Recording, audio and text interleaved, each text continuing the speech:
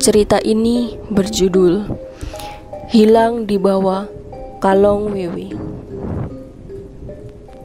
Dulu sekitar tahun 60-an, Desa Balapulang adalah desa kecil yang masih jarang penduduknya dan belum ada listrik.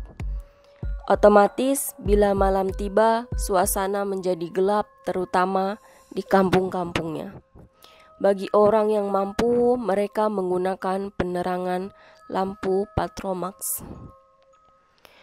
Suatu sore menjelang maghrib, ada seorang tetangga bernama Wak Mamat sedang berjalan pulang menuju rumahnya setelah seharian melakukan aktivitas kerja. Wak Mamat ini suka sekali menggunakan jaket yang berwarna hitam. Pada zaman segitu udah top banget kalau laki-laki memakai jaket. Namun aneh, ketika sampai di depan rumah, Wak Mamat terus berjalan dan seperti tidak mengenali rumahnya. Ada seorang tetangga yang melihat Wak Mamat seperti berjalan digandeng tangannya oleh sesuatu yang berwarna hitam, tinggi, besar, dan bersayap lebar. Lalu sayapnya yang lebar seperti menutupi tubuh Wak Mamat dan kemudian dibawa terbang. Si tetangga tersebut ngeri ketakutan dan segera masuk rumah. Waktu memasuki malam dan yang ditunggu-tunggu belum juga datang. Istri Wak Mamat yang berprofesi sebagai penjual kelapa kupas itu tampak gelisah hingga waktu berjalan sampai pagi. Wak Mamat belum juga pulang. Barulah gempar ketika si tetangga yang lain menceritakan bahwa dia melihat Wak, Wak, Wak Mamat berjalan digandeng sesuatu yang hitam dan berjalan lurus melewati depan rumahnya. Kemudian dibawa terbang. Kabar pun tersiar dari mulut ke mulut bahwa Mak Mak Mak Wamat hilang di bawah kalong wewe.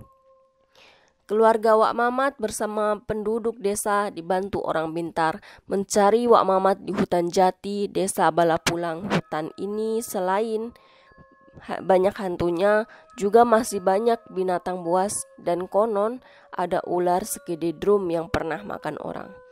Setelah seminggu, barulah Wak Mamat ditemukan di tengah hutan. Namun di desa lain yang dekat perbukitan, kondisinya sudah memprihatinkan, badannya kurus, bajunya sudah kotor dan lusuh. Dia tengah duduk tersandar di pohon jati yang penuh semak dan de dan di depannya ditemukan banyak belatung, cacing dan kaki seribu yang ditaruh di selembar daun jati. Konon Wak, Wak, Wak Mamat diberi makanan menjijikan itu oleh Kalong Wewe. Keluarga Wak Mamat dan penduduk desa bersuka cita karena Wak Mamat sudah ditemukan dalam keadaan hidup.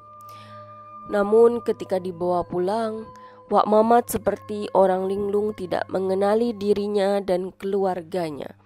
Setelah dirawat selama seminggu, serta dipanggilkan orang pintar, lambat laun Wak Mamat pulih dan bisa mengingat-ingat kejadian yang menimpa dirinya.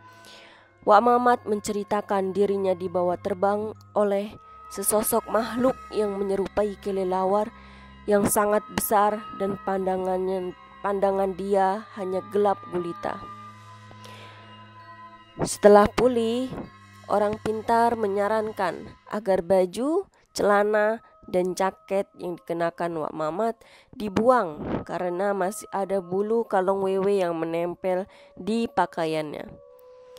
Namun, Wak Mama tidak mengindahkan saran orang pintar tersebut.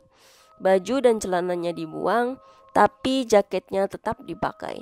Katanya, sayang kalau jaketnya dibuang, masih bagus. Sekitar dua minggu kemudian, ketika Wak Mamat memulai aktivitasnya kembali dan memakai jaketnya, sejak saat itu pula Wak Mamat menghilang lagi dan tidak pernah ditemukan jasadnya hingga sekarang.